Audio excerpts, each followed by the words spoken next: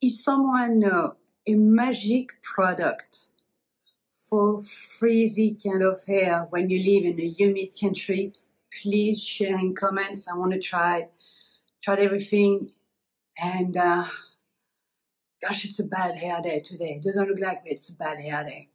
Anyway, hi, my name is Frederique. If you're new to the channel, well, bienvenue.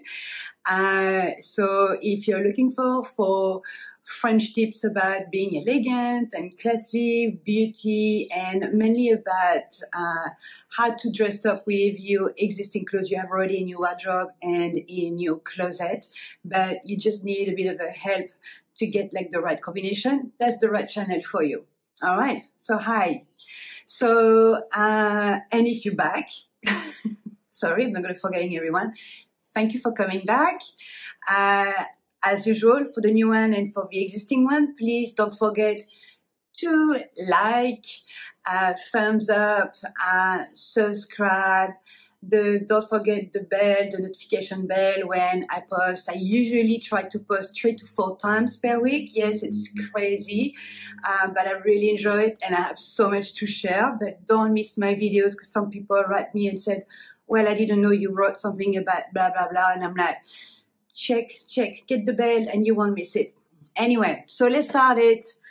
Uh, I have to take some notes because, oh, I think I'm going to do a part one for this one. I'm not sure yet about the title, but something like 10 things, 10 things, excuse me, I have to learn to articulate. 10 things that elegant, classy French women will never, never do. So I just want to let you know that, um, to me, it's totally logical when I'm going through and you don't have to be French to be an elegant woman. An elegant woman, a classy woman coming from a different country. So if you're not French but elegant, do not kill me. I'm not here to say only French women are elegant, but I'm here to say it's only when I've been living now overseas for many, many years that I realized that women are most of the time jealous and always said, Oh, this is so French what you say. This is so French the way you dress. Oh my gosh, you're so elegant. And trust me, I don't think I'm the most elegant person in the world. Um, but it's only when you're French and you live overseas uh, that people come back with you with type of feedback and you're like, why do I do so different? Because when I go back to France and I'm with my super girlfriend, uh, Parisian, I'm thinking about someone, uh, especially hi girls. and uh, I'm like, oh my gosh, I love so much those girls and having lunch and talking about many, many things, the science stuff to the shallow one about fashion. And I do realize that we do have something, the way we carry each other a little bit different than overseas. And when you live overseas, you see other women from a different culture. I'm not going to name any uh, nationality here. You know, it's not a nationality when you're more not classy enough, but I have to admit, depends about your upbringing, depends um, where you're growing up, you know is really different. So I'm going to try to cover at least 10 big things that I never do. Uh, I need to cover all that. And I'm going to try not to do a very long videos, but I have so much to tell about that. So I think I'm going to do a part one and many small videos going to come.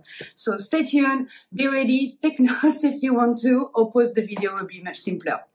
We? So what we French women, I never, ever, ever, exception of course, no exception to me, ever, ever, ever do is having crappy, shitty, dirty, broken nails, not looking after. Absolutely, I've never seen a French woman having like that ever. So doesn't matter if you go to a manicure salon regularly, if you do your nails yourself, you every woman, French woman I know, even the sporty one with short, short nails, or the one who has maybe a little bit more sexier nails, I don't know, they all look after polished or not, bare or not, even if a, a, woman do not like much the colors or it's too much maintenance, which is a lot of maintenance, don't get me wrong, they will at least use a transparent one. And, and come on, ladies, don't get your, your, your hands done. You know, it's, uh, it's important. You don't have to get the sexiest hands in the world. But trust me, you meet a guy or you even meet a woman, they will look at your hands. I look at people's hands. And mine are not sexy. They're short. They're wide because I used to swim for many, many years. I got sunspot on it. Who cares? I love my nails because you know what? I used to bite my nails many, many, many years before. So now I don't anymore. They're not perfect, but gosh, I love playing with that. So French women always look after their appearance. And this is what I'm going to develop a little bit more. Uh, haha, number two. Again, I can see some exceptions, but since I've been living overseas, it's like killing me. I never, never, never, never, ever heard a French woman being extremely loud mm. on the phone or loud generally at the party or laughing very loud. yeah, I'm sorry, did I scare you? or, I mean, here, yeah, girls in Australia, you're so loud on the phone. Are you ready? Are we see on Tuesday? On Tuesday?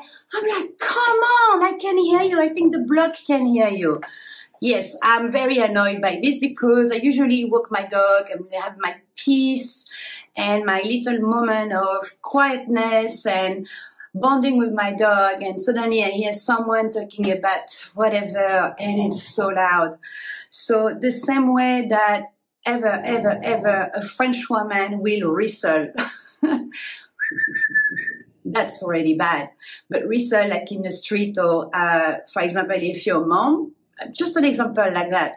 If you're a mom and you go to a sport game and you are supporting your kid, fantastic. Come on. Since when a woman resell like this, and like a guy, you know, can even do it. and, and I mean, wow, I went to a rugby game here. Gosh, gosh.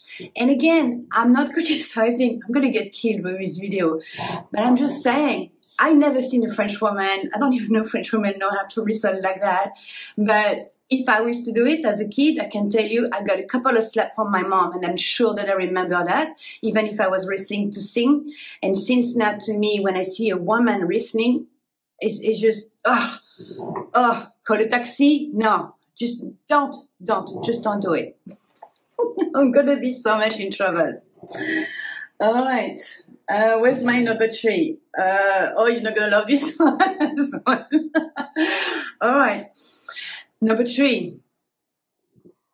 Classy, elegant. I'm thinking Paris, okay? And I lived in Paris for 10 years before moving to Sydney. Um, but I never seen an elegant and classy French woman wearing mini, mini, mini, mini, mini, mini skirt or mini, mini, mini shorts. I'm into shorts in summer. I love wearing shorts. I love the jeans shorts. But come on, ladies, since when it's elegant to wear a short and showing half a quarter of your ass? I don't want to see that, even if you have the most stunning ass in the world. Good for you. Do I, do you need to show it to the rest of the world? Because soon even if you have the sexiest body and you might be the nicest person, soon you're showing your ass like that. First of all, it's really into the face of people. To the kids, it's the same at the same height of the kids. Don't forget that. And it's just like, what's your message here? I got a nice ass. Look at me. I'm like, this is so wrong, you know, so wrong. And worse, ah, oh, ah. Oh. women doing sports or wearing those, you know, um, pants. And I've seen recently, and I don't know what you're doing, girls, you're doing squat to have a bigger ass because it's all about having a bigger ass. What in Europe is having a small ass and be really cute. And I've seen this woman last time not wearing underwear, wearing this um, pants and the couture. So the elastic was literally in the middle of the ass, okay, just to really put the form between the two cheeks. She was really showing ass. She had a beautiful ass. But even me as a woman, and trust me, I love having sometimes cheeky or sexy outfit, but that was not sexy, not cheeky, and it was vulgar, and he, he, he probably translate the wrong message to the people. I'm like, come on, come on, you're a woman. You can do better than that. Number four, Bad hair. Never seen a French woman with bad hair. You, do you know how many hairdressers in one street in Paris you have? Uh, even me, when I go to Paris for three weeks, I will go to the hairdresser. This is what we do, and we have great hairdresser. So a French woman always look after her hair. Doesn't have to be always impeccable. We have as well the style, a bit of a, oh, I just woke up like that. But trust me, even the women who have an haircut, who just woke up like that, it's styled. All right. Number five, the same for the skin. We really look after our skin, okay? And actually, French women, uh, if you've seen the video, maybe I'm going to leak somewhere uh, about my morning skincare routine. French women spend a lot of money and a lot of time looking after the skin, okay? Because we're all about uh, aging with grace. We try not to go from surgery, Botox, and fillers or whatever you need. But to avoid this, you need to avoid obviously smoking. I'm, I'm, I'm guilty as charged for all of this, okay? Uh, going to the sun, but we still invest a lot in our skin and we do that on a very young age. So we do a lot of, um, uh, facials. Uh, we French women, every French woman I know, they know at least uh, one beauty salon they go regularly for a facial, uh, waxing, uh, massage, etc., uh, etc. Et so we really look after ourselves. Even women don't have the best perfect skin like me, but we really look after our skin. Oh, okay. Um, then I need to do a full video about that. We don't eat with an open mouth at all. Even if someone asks you a question, especially when you're in a work lunch, happened to me a thousand times, someone talks to you and asks you a question and just in the middle you are chewing your food, you just do like this. And I'm waiting to empty my mouth, wipe my mouth, and then have a glass of water or wine, you know, and I will answer to the person. I don't want to see the food inside of your mouth. Not classy. You teach the same to your kids apply that to yourself. The same way, uh, but the manners we have around the table is super strict. You should see my education; it wasn't funny at all. But I do that as well sometimes, and it's only French people who just correct me when I put my elbows on the table when we're eating. When you're starting, when you haven't started eating, you're just having an aperitif. That's okay, but when you start eating, you cannot have your elbows on the table. I know, super strict, but um, manners around the table are very, very important no matter your no matter what your your nationality. Okay, so that's done. Okay, something we have sometimes a little bit too much. It's not sexiness. French women are not sexy. I mean, we are sexy, but it's not that the sexy definition of some people overseas thinking that you have a short showing your ass. That's not sexy. You know what we have? It's confidence. We learn how to know our body. We learn how to dress. We learn how to put makeup on. We, we have thick skin. We, we help each other. We are, oh, what's your hairdresser? Wow, give me the address. Fantastic. Uh, wow, your perfume is so unique. We like to be unique and I will do again a video, video about that. Um, but we are confident. And if someone is telling me something I don't like it, I'm not going to smile and pretend everything is fine, unless again it's a work environment. That's again another story. But I will tell a person I said, yeah, I don't like it. This is like now. But again, it depends where you live. In Paris, totally fine. When you're overseas, people think French people are rude and arrogant when actually it's part of a culture to be direct. Spanish, Italian people, Portuguese, no problem. We find that funny. We love it. It's not rude or arrogant. When you live in a country like England, I don't know for Canada, but the States, stay a bit more relaxed. Australian not so relaxed. I'm gonna really, I'm Australian, so don't get me wrong. I love to be and to be Australian, but it's so stiff sometimes. They're really stiff, you know. Okay, then, uh, the shoes. We never, never wear platform high heel shoes. Um, I love my high heels you, you know, you can tell, look, look, look my size. I'm six foot, no, sorry. You see, I'm 160 centimeters for the metric system. And for the people who don't have metric system, I, I'm five foot two, barely. Okay. Um, so it doesn't bother me. It did for many years, but I have to live with it. Okay. I'm petite and I love heels and I really love heels. Uh, it give me confidence, give me a bit of a height. So I can be at the same height of people when I'm talking is great. I like high heels, 10 to 12 centimeters, and even now I'm going a little bit down, so comfortable, as much as I love the heels. But you will never, ever, even in my 20s, see me in a stripper pair of shoes. In what in the world is this sexy? Stripper shoes for strippers in stripper places. Okay, so be elegant, be comfortable, wear heels as much as you want, but there's so many choices, so many good quality. Wear good, nice, beautiful pair of high heels, pumps, whatever you call that.